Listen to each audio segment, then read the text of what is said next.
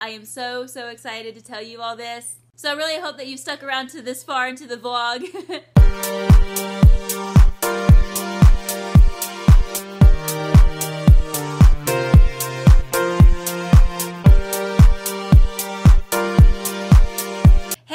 guys, how's it going? Today I am 21 weeks pregnant and we are now officially over the halfway mark. But to get right into my symptoms, I've been having a lot of headaches. I like wake up with one. I always wake up with one and it's kind of dull. Uh, sometimes it will develop into more of a headache and I have to take something for it. Sometimes it doesn't. It just depends. But this week I have woken up every single day with some form of headache and it's been not fun. Also, this week I'm starting to tell where Andy is laying inside of me. I can't tell it 100% of the time, but a lot of the times I can be like, oh, she's transverse right now, or oh, she's uh, butt up, head down right now, or you know what I mean? I can like get a feel for where she's laying and how she's laying. I thought that was really neat that that's something I've been uh, noticing this week. And this week was about to be pretty boring symptom wise until last night.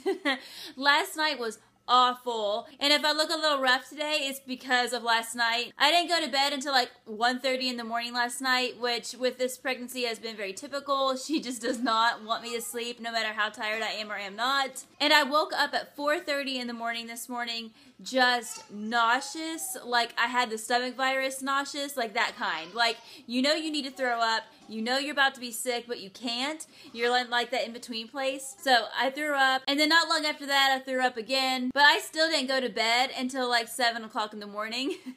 and then the girls had me up and down, up and down, up and down until about 11. I know that sounds really late, but because I was up, they were up. Uh, because I was walking around and I was very nauseous and throwing up, it woke the girls up. So they were up at like 5 o'clock, I want to say, like 5 or 5.30, I want to say they were about up. And so they were up early. So because they got broken sleep, I got broken sleep, and oh, guys, but how I was feeling this morning, I thought it was a stomach virus, but it's not because if it would have been, I would have been sick a lot longer than I was. So I'm pretty sure it's just pregnancy related. But I have never done that. I've never woken up that early in the morning, sicker than a dog. That's a first for me. I'm so sorry, you guys. I get like really TMI in my pregnancy vlogs. I'm really sorry. I mean, I guess part of me should be like, you know, people are to watch this and people are to know what's going on with your body. Isn't that a little concerning? Not really. It's normal, and I want people to know that it's normal. So I feel constipated this week, and actually, I didn't even know that I was until last night when I was throwing up, and I also had the, you know, runs downstairs. Gosh, this is a lot of information. I'm so sorry, you all. But that's a symptom that I've also noticed this week. On to a symptom that is less TMI. I craved spaghetti this week, but that's probably the only craving I've had this week that I can think of. Uh, I didn't crave anything crazy or different or really anything at all.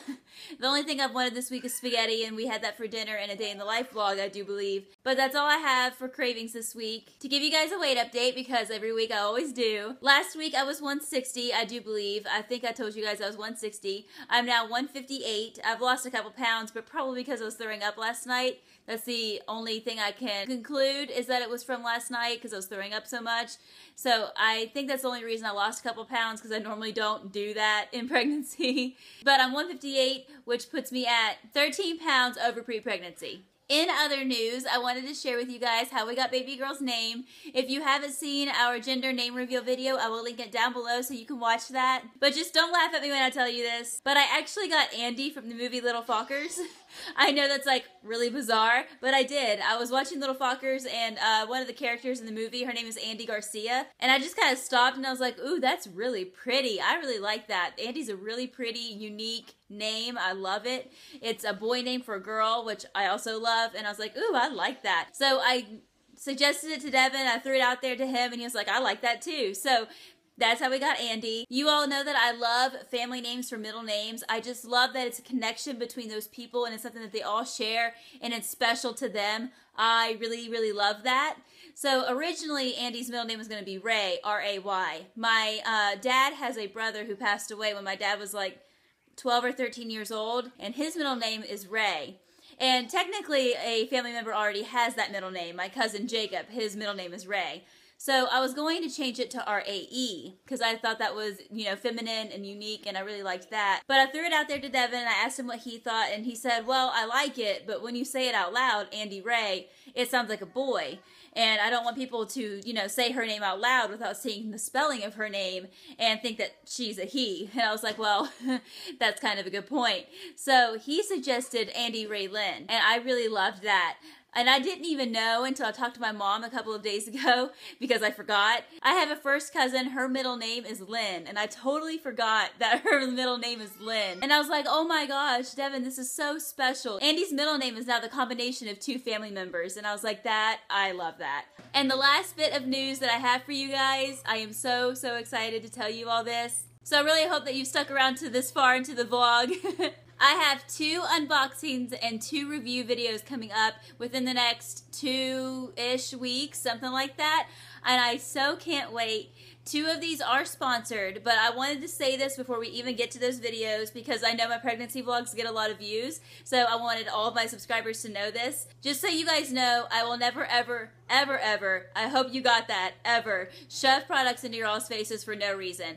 I'm not that kind of person. I never will be. You guys know, especially if you watch this pregnancy vlog and heard all that TMI I just told you guys, you all know that I'm honest and I'm real with you guys. I will never sugarcoat stuff.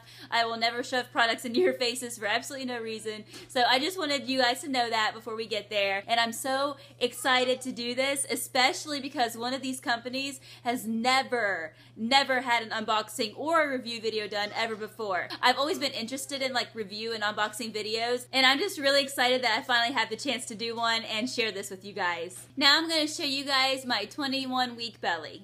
But this is my 21 week bump. This is with the shirt on.